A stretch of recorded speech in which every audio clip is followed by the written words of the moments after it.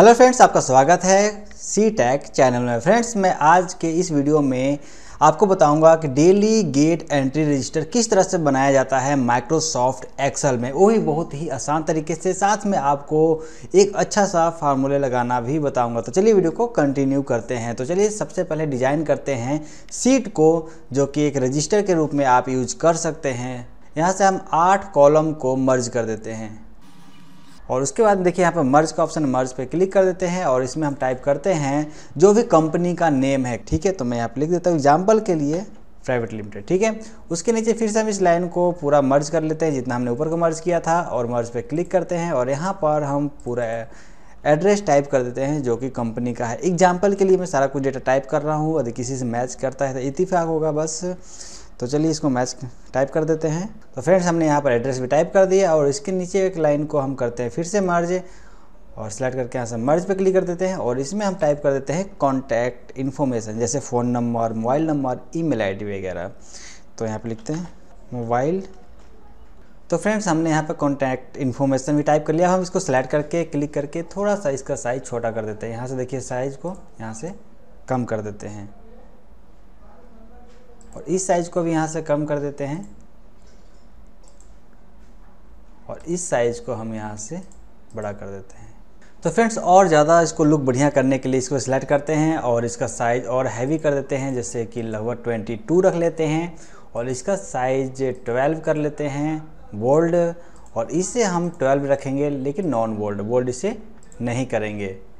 तो फ्रेंड्स हमने heading type कर लिया और हम इसे इस तरह से सिलेक्ट तीनों को सिलेक्ट कर लेते हैं और यहाँ पर बॉर्डर पे जाते हैं। इसे थिंक बॉक्स बॉर्डर पर क्लिक कर देते हैं बॉर्डर देते हैं। उसके बाद में चलिए यहाँ पर हम हेडिंग बनाते हैं। क्या डेली गेट एंट्री रजिस्टर वैसे भी लिख सकते हैं तो हम यहाँ से, से तीन कॉलम को सिलेक्ट करते हैं और इसको मर्ज करते हैं। ठीक है? तीन कॉलम और यहाँ पर हम टाइप करते हैं डेली गेट एंट्री रजिस्टर ठीक है? फ्रेंड्स, इसका भी साइज़ हम रखेंगे 22 हैवी रखेंगे और साथ में बोल्ड कर देते हैं। ये थोड़ा सा इसमें फिक्स नहीं आ रहा है इसको थोड़ा सा और छोटा कम कर देते हैं, ठीक है, इतना। उसके बाद में इस साइड में भी हम यहाँ से लास्ट के दो को मर्ज कर देते हैं, ठीक है? और इसमें हम डेट टाइप कर देते हैं। जिस दिन का ये रजिस्टर तैयार हो रहा है, उस दिन का डेट शॉर्टकट डेट आपको लाना है तो कंट्रोल और कॉमा प्रेस कीजिए, आपको डेट आ जाएगा। और उसके बाद में आप इस साइड में इसको मर्ज कर लेते हैं हम, इससे, और मर्ज करके यहाँ पे लिख देते हैं डेट डेट ठीक है?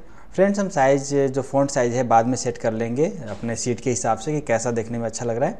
तो चलिए, पहले डेटा टाइप कर लेते हैं, और यहाँ पर लिखते हैं आईडी नंबर आईडी नंबर और इसे थोड़ा सा और साइज़ बड़ा कर लेते हैं आईडी नंबर का। यहाँ पे लिखते हैं नेम ठीक है नेम ज़्यादा बड़ा होता है, लंबा नाम किसी किसी का होता है तो इसलिए हम इसको ज़्यादा जगह देंगे, इतना जगह दे देते हैं। ठीक है, नाम के लिए। और उसके बाद में इसमें टाइप करते हैं डिपार्ट और डिपार्ट भी थोड़ा सा साइज़ बढ़ा देते हैं। उसके बाद में यहाँ पे देते हैं अलाउ टाइम कि जो गेट का जो पास है गेट पास है, कितने घंटे के लिए अलाउ किया गया है। तो हम यहाँ पर लिख देते हैं allow time allow time allow time और इसे थोड़ा सा साइज़ ज़्यादा कर लेते हैं।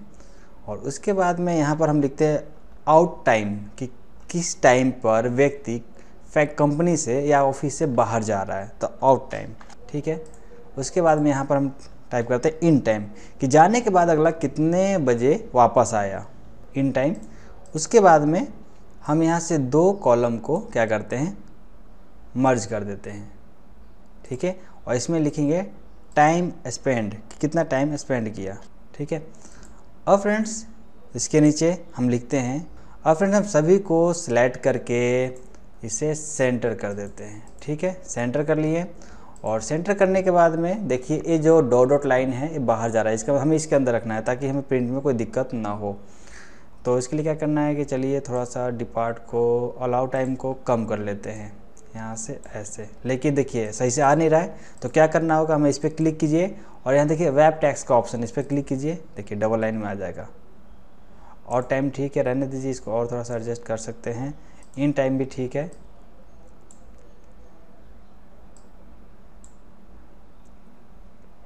और स्पेंड टाइम को थोड़ा सा कम कर लेते हैं। इसको इतना इतना कर लेते हैं, हल्का कम।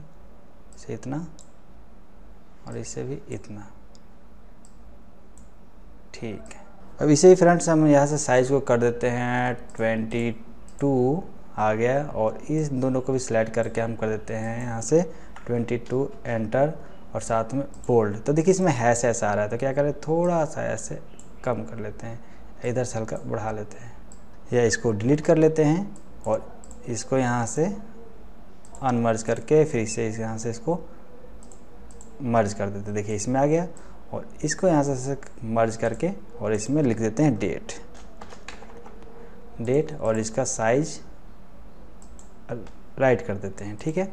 और इन दोनों को फिल कर देते हैं हम यहाँ से इस तरह हल्का कलर और आउटलाइनिंग थिंक दे देते हैं और इसमें भी फिल कर देते हैं इस कलर को आउटलाइनिंग को थिंक दे देते हैं, ठीक है?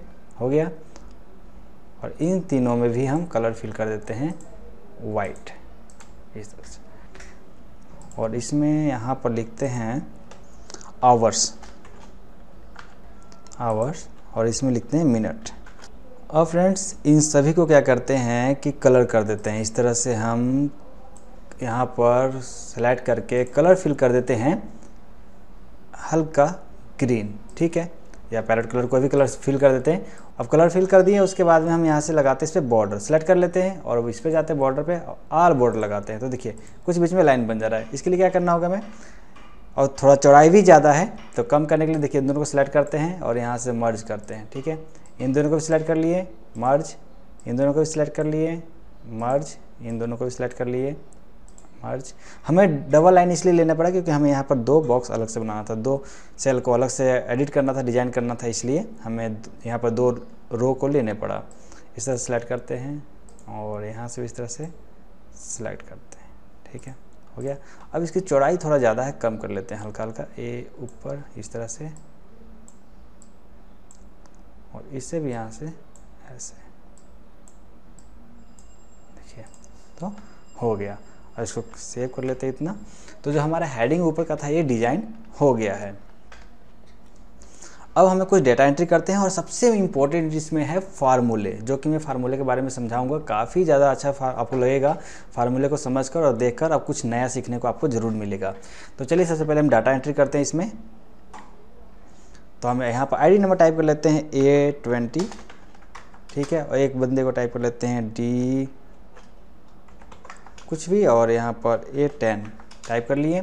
यहाँ पर नाम डाल देते हैं, जैसे कि हम चलिए इसको हम यहाँ से आल बॉर्डर भी कर लेते हैं और इसमें हम नाम टाइप कर देते हैं, राजकुमार।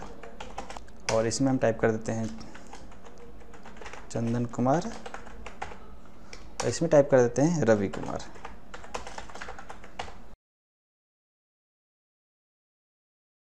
कि एक व्यक्ति आता है जिसका गेट पास है तो गेट पे एंट्री करना हो कि अलाउ टाइम उसको ऑफ़िस की तरफ़ से अलाउ किया गया है दो घंटे का गेट पास। ये गेट पास के सारा डेटा इसको हम यहाँ से सिलेक्ट करके सेंटर कर लेते हैं, दो घंटे का। Out time out time type करने के लिए आपको डेटा एंट्री करना तो सिंपल होगा। कंट्रोल, शिफ्ट कमायरो पर क्लिक कीजिए, देखिए आ गया, ठीक है? थ्री पी इन टाइम, अब इन टाइम की बारी आता है तो इन टाइम जब अगला व्यक्ति वापस आएगा, तब तो हम इसमें डेटा एंट्री करेंगे। जब से फिर हम यहाँ पर एक घंटे का दे देते हैं और इसमें भी हम दो घंटे का दे देते हैं, और इसमें भी हम एक डेटा एंट्री कर लेते हैं और इसमें भी कर लेते हैं। लेकिन सबका, यहाँ पर थोड़ा थोड़ा डेटा चेंज करते हैं फ़िलहाल अभी इसलिए चेंज कर रहे हैं क्योंकि इस फार्मूले को आपको समझाना है और दिखाना है। तो मैं क्या करूँगा पीएम को यहाँ से एएम कर देता हूँ, ठीक है? और इसको मैं कर देता हूँ दस, ठीक है? थोड़ा सा साइज़ इसका बढ़ा देता हूँ। कम हो रहा था। और उसके बाद में फिर इसे हम कर देते हैं यहाँ से ग्यारह या फिर नौ एम से तीस मिनट और एम एम ठीक है? और इसको कर देते हैं बारह चौबीस पी एम कर देते हैं, ओके? तो मान लीजिए कि हम तीन डेटा हमारे पास है और आउट टाइम हम अभी का टाइप करते हैं, जैसे कि कंट्रोल शिफ्ट कॉमा से टाइप किए। है सारा? साइज़ थोड़ा सा बड़ा कर लीजिए। साइज़ कम हो रहा होगा, थोड़ा थोड़ा एडजस्ट कर लिया करें साइज़ को। कम हो रहा होगा, देखिए। है अब नहीं आएगा। अब फ्रेंड्स, बात है फार्मूले का बारी। तो ध्यान से समझिए यहाँ पर खत्म यहाँ से। यहाँ पर मैंने क्लिक किया आवर्स के लिए। तो मैं फार्मूला यहाँ पर लगाऊँगा बराबर। उसके बाद में आवर्स। H O you. देखिए, नीचे आ जाएगा आर। आवर्स आ गया। उसके बाद में bracket in time minus out time bracket close enter तो देखिए, यहाँ पर ज़ीरो आ रहा है। ज़ीरो इसलिए आ रहा है क्योंकि जो इस सब का जो फॉर्मेट है फ्रेंड्स हमने टाइमिंग में डाल दिया। अब हमें नॉर्मल डिजिट में डालना है। राइट क्लिक करना है फॉर्मेट सेल पे जाना है और यहाँ से जनरल कर देना है। जनरल ओके तो देखिए, हमने पाँच घंटा स्पेंड किया, लेकिन सिर्फ़ घंटे में आ रहा है इस फार्मूले से सिर्फ़ घंटे में आया कि कितना घंटा लगा घंटा लगा कर आए हैं? कितना घंट घंटे खर्च किए हैं यहाँ पे लेकिन साथ में मिनट भी चाहिए, कितने घंटे कितना मिनट हुआ है? तो साथ में मिनट के लिए फार्मूला भी लगा लीजिए, यहाँ पर क्लिक कीजिए।